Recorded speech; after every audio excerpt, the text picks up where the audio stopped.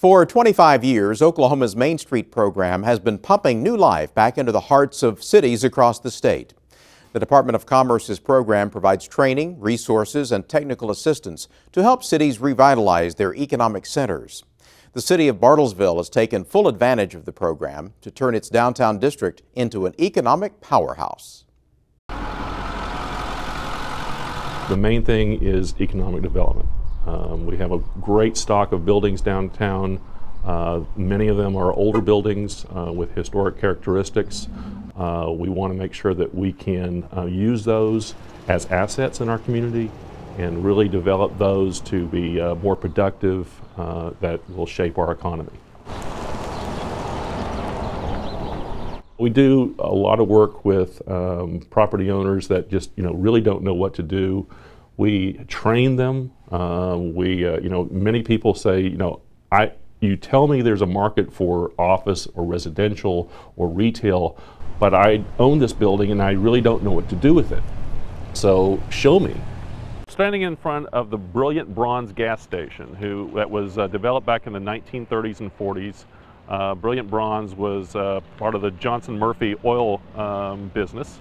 But over time, it uh, fell into disrepair. The old garage doors were falling off. The, uh, the doors were bad. They boarded up the windows. And it just became completely nondescript, uh, pretty much hidden from view for the most part. Painted white, nobody even knew it was there for the, for the most part. Uh, then along came uh, Tony Contupis. he was the property owner that um, bought the building next to us as well as this one. We gave him design assistance through um, our office. He went in and uh, changed the uh, garage doors, changed all the, uh, the uh, doors, the entry doors back to a wood and glass panel, uh, put back new windows, and then added awnings, painted the stripes, you know, all the whole color scheme that uh, really all of a sudden people went, where did that come from?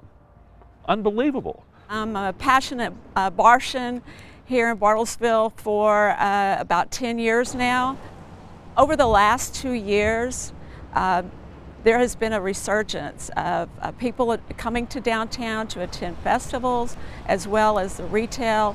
Um, there are entrepreneurs and businesses that are actually asking to, for spaces, available spaces, to start their businesses downtown people walking the streets of downtown after five, uh, people moving to downtown. Uh, there are several upper floor lofts um, that totally occupied and have a waiting list of people wanting to move downtown.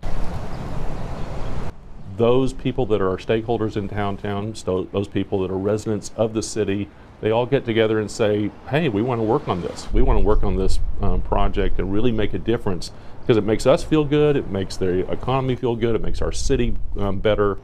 Uh, it's really something that uh, is a, I, I, think, one of the best um, community driven projects there is.